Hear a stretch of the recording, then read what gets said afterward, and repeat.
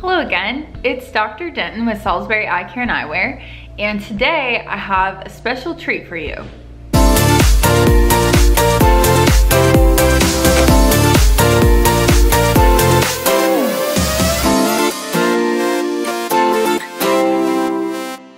So I do a lot of dry eye treatment and management, and I was recently told about a new piece of equipment that can show you what the doctor is looking at when we look at your eyes. One of the tests I use to evaluate dryness is called tear breakup time. It is simply done by having the patient blink and hold their eyes open as I count in my head and wait for their tears to break up.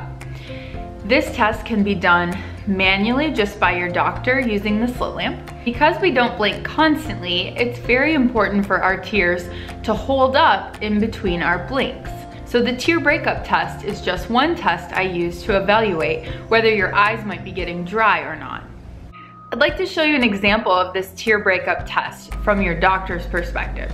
Our first subject is one of my employees, Kristen, Kristen's eyes, she reports, are rarely dry. She has pretty normal vision. It doesn't tend to fluctuate. And so I'd like you to take a look at her tear breakup time. You'll notice that Kristen was able to keep her eyes open for over 20 seconds and her tears barely broke up. You'll see a little bit of breaking up at around 12 or 13 seconds, but all in all, Kristen's got a great tear breakup score because in between blinks, she'll maintain good tears.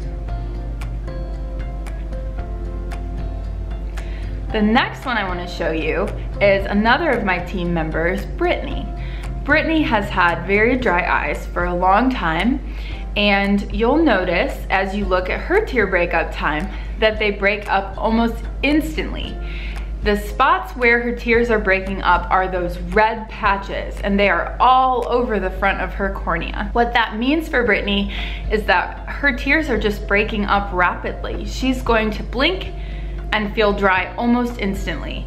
She would benefit from some dry eye intervention, which is something we would have to tailor to her needs specifically.